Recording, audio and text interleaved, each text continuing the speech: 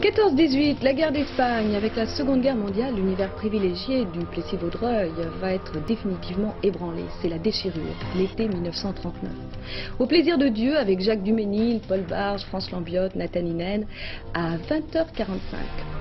Au XVe siècle, les Flandres et Vanek. Au XVIe, Dürer en Allemagne. La Renaissance atteint l'Europe du Nord. Au Louvre, le plus grand musée du monde, Isabelle Huppert et Jean-Claude Brialy nous font voyager ce soir. Une réalisation de Claude Vajda, d'après une idée de Jean-Marc Leven, à 22h20.